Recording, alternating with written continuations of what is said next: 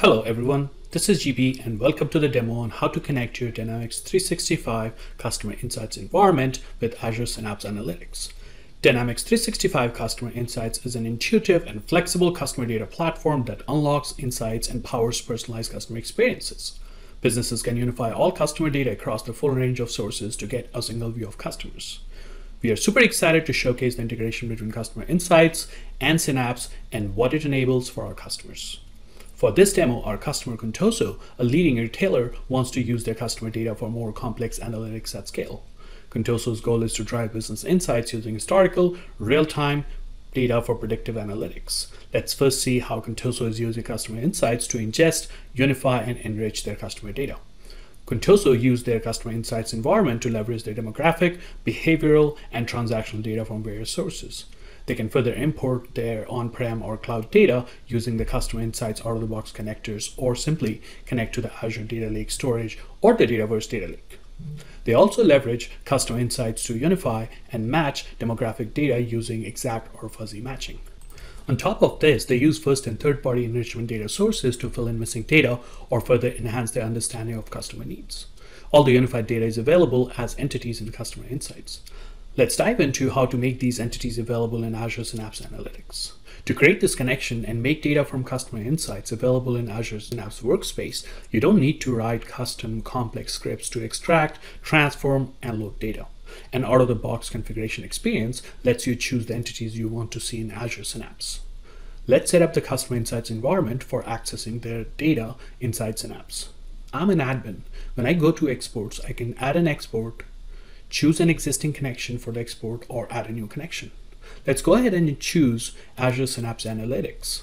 Once we get to this page, we set up the display name and the subscription. We then choose the workspace and click on save. The connector that we just set up shows up in the list of connections.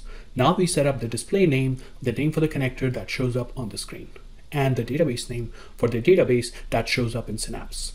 Let's go ahead and select the different entities that we want to export.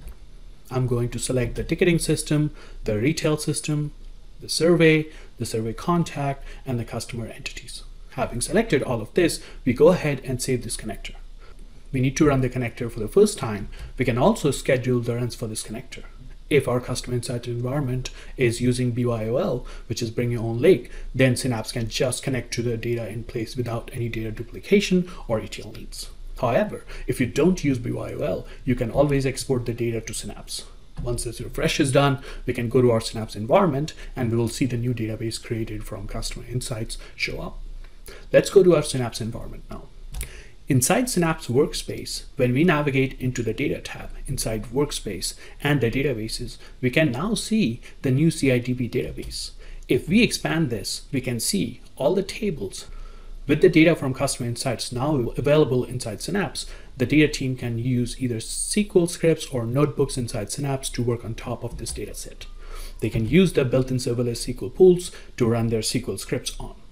Let's now look into a scenario for Contoso.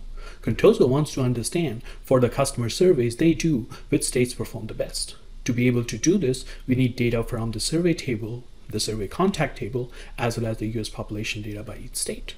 The US population data is available as an Azure dataset and can be quickly imported by going to Knowledge Center and adding the dataset from there. The first step in this analysis is to join the survey contact and the survey table to get the number of survey takers by each state. We then join this output with the US population dataset to get the distribution over each state. Final step is deriving a participation score for each state. Using the chart visualization for the data frame inside the notebook, we can clearly see District of Columbia by far is the best performing state for the survey. Other leading states are Alaska and Nevada. We can now execute this notebook inside a pipeline for repeatability and schedule runs. For the mission critical work, Contoso's data team can now collaborate better and get to results faster by harnessing the limitless analytics scale and tools provided by Synapse. The power of Synapse with customer insights help businesses be nimble to make customer and market adjustment decisions. Time to results is greatly reduced by enabling business users, data engineers, and data scientists to work over the same data. We can't wait to hear your Synapse and customer insights story. Hope you enjoyed this demo. Please reach out to us for any further questions or comments. Thank you.